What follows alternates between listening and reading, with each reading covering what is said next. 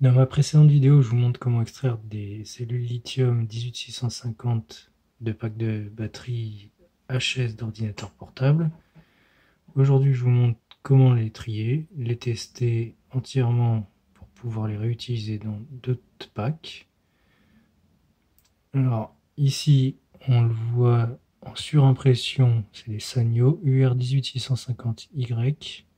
Donc elles font à peu près 2000 mAh de capacité. Première chose, je teste la tension de chaque cellule. Elle doit être comprise pour des cellules en bonne santé entre 2 volts et 4,2 volts si elles sont complètement chargées.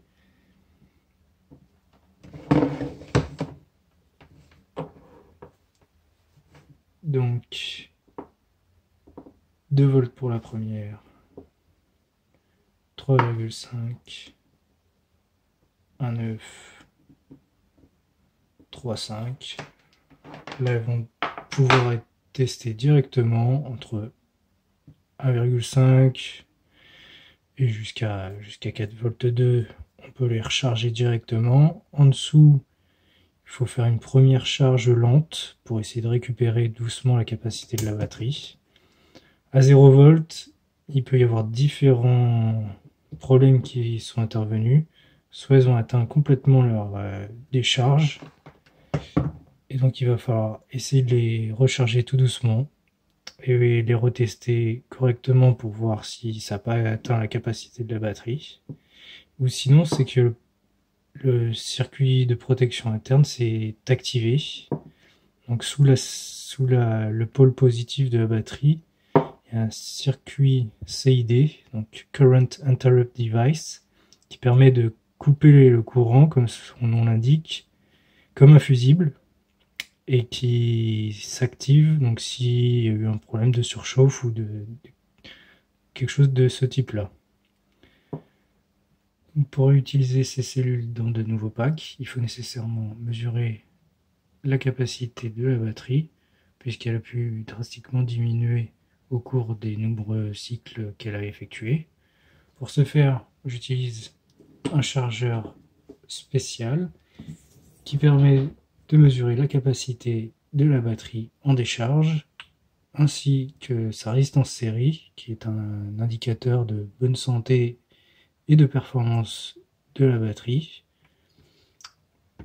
Il permet de faire différents types de batteries comme nickel cadmium nickel métal hydrure et lithium. Donc c'est un avantage, mais ça peut être un inconvénient lorsque des cellules lithium sont en dessous de 1,5 ou 1,2 volts. Il va penser que c'est des nickel cadmium ou des nickel métal hydrure et il va pas pouvoir les charger entièrement, donc il va falloir utiliser un autre moyen de les précharger avant de les installer dans ce chargeur. Par contre, il est plutôt bien fait dans le fait que chaque slot est indépendant. Donc on va pouvoir tester une batterie en charge, en mettre une autre en décharge, tester la résistance sur une autre voie, et ainsi de suite. Donc il dispose de 5 modes. Un mode de charge, un autre de décharge, un mode de test qui permet la charge complète puis la décharge pour mesurer la capacité de la batterie, un mode refresh qui permet d'effectuer plusieurs cycles de charge, des, charges pour augmenter la durée de vie de la batterie, mais ça c'est plus valable pour les nickels. Et un mode qu'ils appellent Quick Test, donc qui permet de mesurer la résistance série des batteries, que j'effectue plus quand la batterie est complètement chargée. Donc à la fin du test mode qui permet de mesurer la capacité totale, de la batterie. Donc je vais sélectionner tous les slots et effectuer charge test. Voilà, c'est le mode qui permet de mesurer la capacité de la batterie. J'effectue une charge 1 ampère. Il va effectuer la décharge 1 ampère aussi. Donc on valide sur slot. Et donc là, sur chaque voie, il va appliquer un courant de charge d'un ampère jusqu'à une charge complète à 4,2 volts. Arrivé à 4,2 volts, il va passer en mode décharge, toujours dans le mode test. Et à la fin de cette décharge, il va stopper à 2,8 volts pour des batteries lithium et il va afficher la capacité de chaque cellule. Donc on peut switcher sur différents écrans, donc en direct avoir la tension de chaque cellule, la capacité donc en mode décharge, donc là elles sont en mode charge, il ne va pas mesurer la capacité,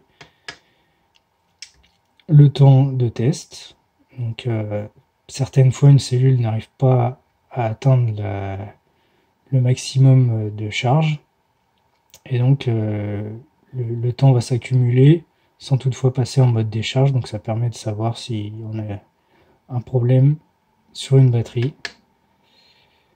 Voilà, donc on va laisser charger et décharger et voir le résultat si les capacités de la batterie sont respectées.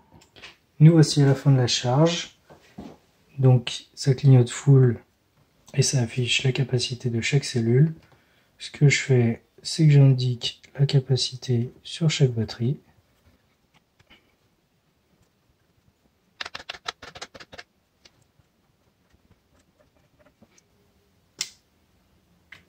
On peut faire un test de résistance série.